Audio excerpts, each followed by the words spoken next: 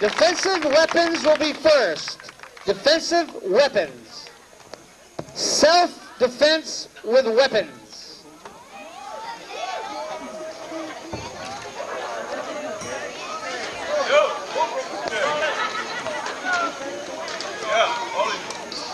They drew straws to see who was going to hold that stick, and he won.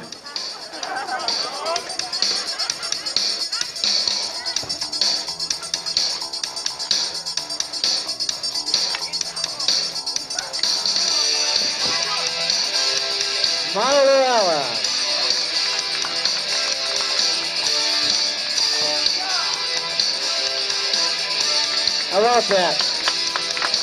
Let's hear it. That's quick.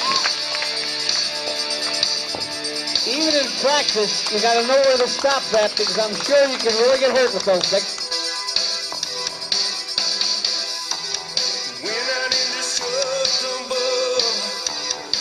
What you're seeing is a technique if somebody came at you with a stick, such as they're doing from Montalera.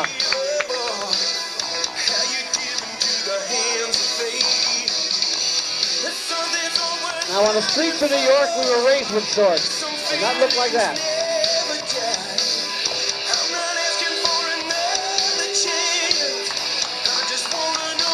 Notice how quick, how professional the man moves.